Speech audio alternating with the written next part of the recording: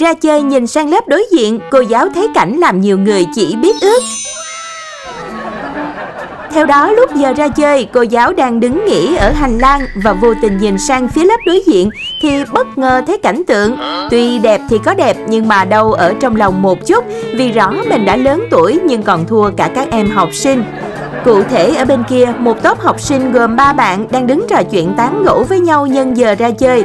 Thế nhưng ánh mắt của ta bỗng va phải hành động của cậu nam sinh khi cậu bé này ân cần tỉ mẩn cột lại tóc cho bạn nữ. Rất nhẹ nhàng và thậm chí khi đã xong xuôi, cậu ta còn ngắm nghía vuốt ve mái tóc một cách hết sức thương yêu.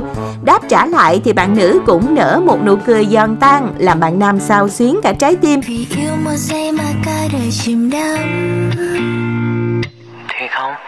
Lỡ yêu mất rồi, giờ thì mình lỡ thương mất rồi Hành động cu tê xỉu của cặp đôi đã khiến nhiều người không khỏi ghen tị khi các em chỉ mới học cấp 1 nhưng đã có những rung động đầu đời. Hơn hẳn đàn anh đàn chị 18-20 tuổi đến nơi vẫn đang đi tìm thứ gọi là real love.